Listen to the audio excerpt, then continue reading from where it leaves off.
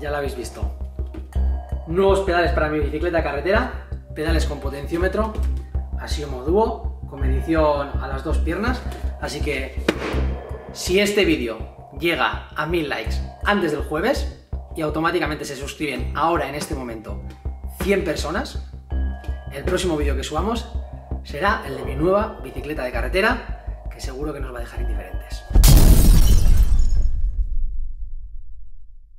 Muy buenas a todos, ¿qué tal estáis? Bienvenidos un día más al canal y en el vídeo de hoy, eh, ya lo habéis visto en el propio, en el propio título supongo, eh, os voy a enseñar cuál es mi estado lamentable de forma.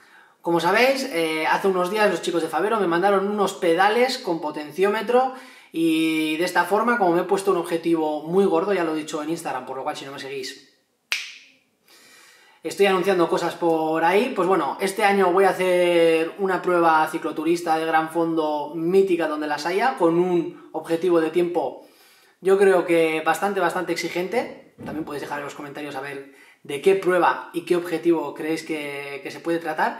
Pero bueno, el caso es que como este año he decidido ponerme serio con el tema de los retos deportivos porque llevaba seis meses sin andar en bici con cierta regularidad desde la Madrid-Lisboa, aquí que la hice con, con, esta equipación, pues he dicho que esto no puede ser, he cogido unos 6-8 kilos, así que ahora toca otra vez volver a, ponerse a entrenar, de hecho ya llevo varios días entrenando, y en este vídeo lo que vais a ver es cuáles, cuáles han sido los resultados de mi FTP seis, después de 6 meses de inactividad.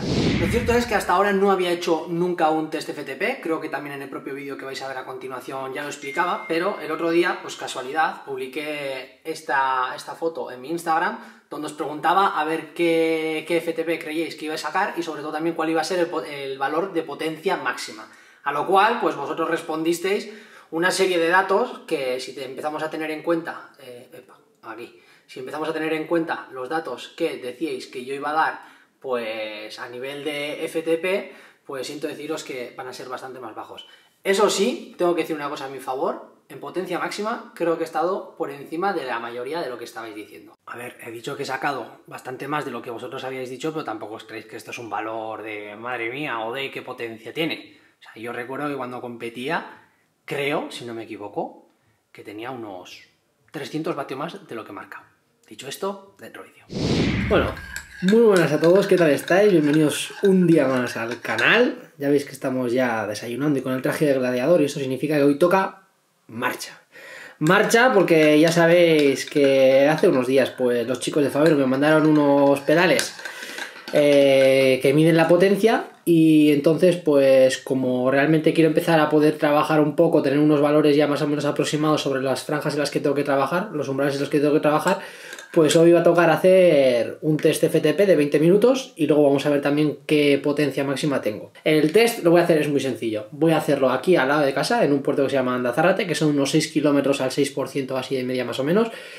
Y en principio eh, calculo que pues empezaré son unos 280-300 vatios. Y ya con eso iré viendo si aprieto más, si aflojo. Entonces lo dicho, vamos a desayunar aquí con un batido estos de tipo proteicos y tal, que también eh, me estoy cuidando mucho el tema de la dieta y sobre todo hay que meter proteína, cafecito y unas tostadas con aceite. Así que desayunamos y vamos a andar en bici. Pues ya llego a la hora, la verdad, después de hacer un rodaje de unos 40-45 minutos, ya estoy ya llegando a este ASU y aquí es donde va a empezar este test de FTP. En principio desde 280 vatios. Opa. A ver qué tal. Bueno, pues ya veis aquí en esta gráfica eh, que realmente empecé con las expectativas demasiado, demasiado altas, es decir, siempre intentando mantener una potencia de unos 280, incluso 300 al principio, porque me creía como eh, con bastante facilidad como para poder moverlo. Pero ahora a continuación veréis que a partir del minuto 5 empieza a bajar un poco, pero sobre todo en el minuto 10 es cuando realmente dije, mmm, igual casi que me doy la vuelta, otro día hago el test FTP, porque como veréis a partir de ese minuto 10 hay muchos momentos en los que yo personalmente empecé a mover bastantes menos vatios de los que muevo cualquier día de entrenamiento, vatios por debajo de 200. Entonces al final decidí, pues con más pena que con gloria, pues intentar acabar este entrenamiento de la forma más digna posible y ahora veréis en la parte final que, pues bueno, de alguna forma, aunque lleve el pulso muy alto y una cadencia bastante baja, hay que decir, pues lo que decía, que en esta parte final, pues pude apretar un poquito para intentar subir un poco ese FTP con unos vatios de 300 y tal los últimos metros. Un desastre.